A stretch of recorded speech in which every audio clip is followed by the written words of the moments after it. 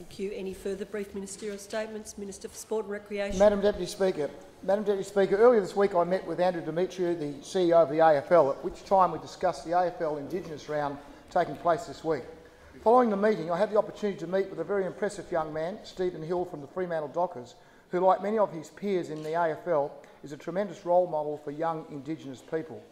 During my discussions with Mr Demetriou, I took the opportunity to update him on how the Liberal National Government's KidSport program was directly increasing the rate of Indigenous participation in sport across our community. Since the inception of KidSport program, 3,455 Indigenous kids have received a total of 4,079 vouchers to enrol in either a summer or winter sport. To put some context around the figure, 4,079 vouchers equates to over $544,000 directly invested in engaging young Indigenous people in sporting clubs across WA. Of that number, 2,594 vouchers have been redeemed for boys and 1,530 for girls. While there is some disparity in these figures, the data serves to inform us where we need to invest more resourcing, and we will continue in our efforts to engage more Indigenous girls in sport.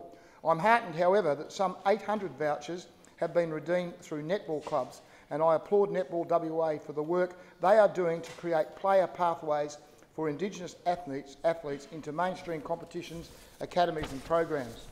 Importantly, 2,167 of these vouchers were redeemed by young Indigenous kids who haven't previously been registered with a sporting club. If we look at Australian football in isolation, 1,765 Indigenous kids have received over 2,000 vouchers a great number which demonstrates these enrolments aren't one-offs. The kids are coming back to play consecutive seasons.